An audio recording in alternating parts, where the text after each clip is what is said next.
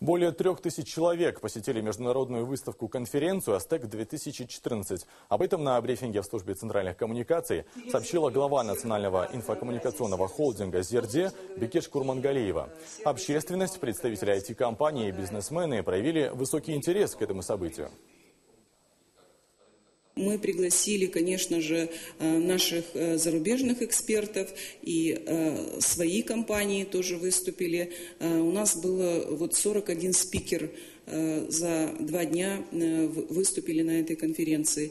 Поэтому я считаю, что и тут очень хороший был такой показатель. Аудитория активно реагировала на все выступления и задавала очень много вопросов. Это говорит о высоком интересе. Так что я могу сказать, что мы достигли своей цели.